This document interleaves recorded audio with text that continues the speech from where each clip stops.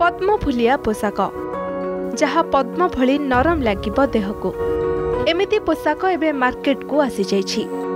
ଦର୍ଶକ ବନ୍ଧୁ ଆପଣ ଭାବୁଥିବେ ଯେ ପଦ୍ମଫୁଲିଆ କୌଣସି ଗୋଟେ ବ୍ରାଣ୍ଡର ନା। କିନ୍ତୁ ସେମିତି ଆଦୌ ନୁହେଁ। ବାସ୍ତବରେ ଯେଉଁ ବସ୍ତ୍ର ବା ପୋଷାକ କଥା ଆମେ ଆପଣଙ୍କୁ କହୁଛୁ ତାହା ପଦ୍ମଫୁଲ ନାଡ଼ରୁ ପ୍ରସ୍ତୁତ ହୋଇଛି।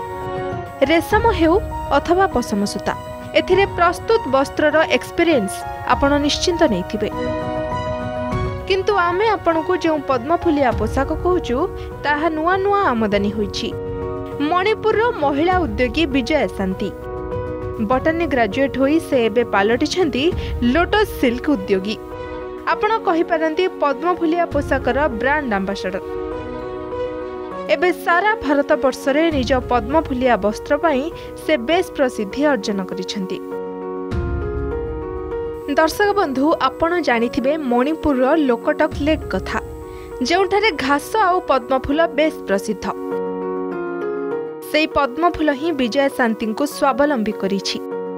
ଏହି ଲେକ୍ରେ ବୁଲି ସେ ପଦ୍ମ ତୋଳନ୍ତି ଏବଂ ଏହାର ନାଡ଼କୁ ଭାଙ୍ଗି ଲୋଟସ୍ ସିଲ୍କ ବାହାର କରନ୍ତି।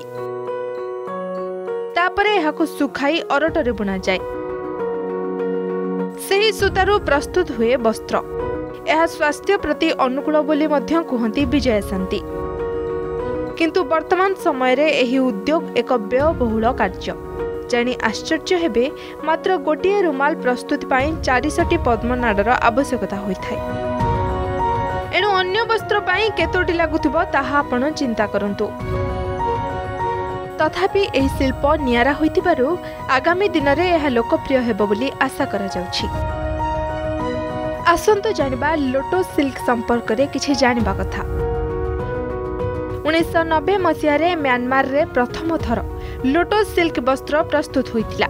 ସାଉ ନାମକ ଜଣେ ମହିଳା ଜୈନିକ ବୌଦ୍ଧ ସନ୍ଥଙ୍କ ପାଇଁ ମଫଲର ପ୍ରସ୍ତୁତ କରି ଉପହାର ଦେଇଥିଲେ। ପରବର୍ତ୍ତୀ ସମୟରେ ଏହି ପ୍ରକ୍ରିୟା କାମ୍ବୋଡିଆ ଭିଏତନାମରେ ଆରମ୍ଭ ହୁଏ। ସମ୍ୟକ ଲୋକପ୍ରିୟ ମଧ୍ୟ ହୁଏ।